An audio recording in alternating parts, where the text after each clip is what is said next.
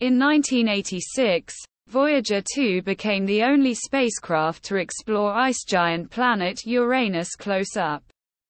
Still, this newly released image from the NIRCam, near-infrared camera, on the James Webb Space Telescope offers a detailed look at the distant world.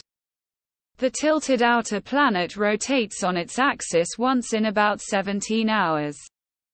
Its north pole is presently pointed near our line of sight, offering direct views of its northern hemisphere and a faint but extensive system of rings. Of the giant planet's 27 known moons, 14 are annotated in the image.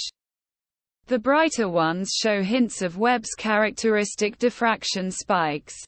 And though these worlds of the outer solar system were unknown in Shakespearean times, all but two of the 27 Uranian moons are named for characters in the English Bards plays.